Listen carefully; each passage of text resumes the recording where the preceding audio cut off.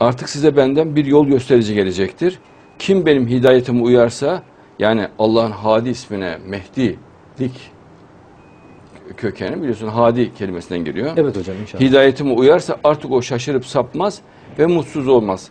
Yani doğru yoldan da sapmaz ve neşeli olur. Mutsuz olmaz. Mutsuz olmaması insan çok önemlidir. Evet.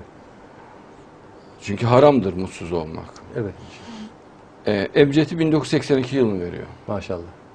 Tek bir tarih veriyor 1982. Evet. Kim benim zikrimden yüz çevirirse yani Allah'ı anmaktan, güzel ahlaktan e, uzak durursa, egoist, bencil olursa, sevgisiz olursa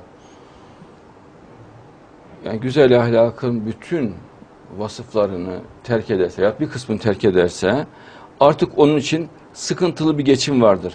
Bak hem geçim var, geçimde bir eksilme var hem de sıkıntı vereceğim diyor Allah. Evet hocam. Adam yani sebepsiz sıkılmaya başlayacak veya sebepli sıkılmaya başlayacak. Bak sıkıntılı bir geçim e, vardır diyor. Yani bunalacak, rahatsız olacak ve ekonomik kriz başlayacak diyor Allah. Evet. Diyorlar ki dünyada niye başladı ekonomik kriz? Bak sebebi bir türlü bulunamıyor. Kur'an açıklıyor. Kim de benim zikrimden yüz çevirirse artık onun için sıkıntılı bir geçim vardır. Ekonomik krizin geç, sebebini Allah açıklıyor Kur'an'da. Evet. Şu an bulunamıyor. Hiçbir sebep bulamıyorlar. Yok. Çünkü para da basıyorlar piyasaya veriyorlar. Teşvikler de var. Her Evet. şey yapılıyor. Olmuyor. Evet hocam. Ee, ve Allah bir tek ondan bırakmayacağım diyor. Ee, Allah'ın zikrinden yüz çevirenleri yani Allah'ı e, sevmeyenleri cezalandıracağını belirtiyor Allah. Biz onu kıyamet günü kör olarak haşredeceğiz.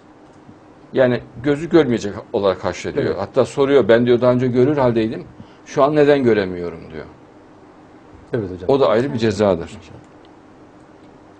Zaten bak diyor ayet devamında 125'te. O da şöyle demiş olur. Ben görmekte olan biriyken beni niye kör olarak haşrettin Rabbim? Tabii densiz oldukları için. Evet.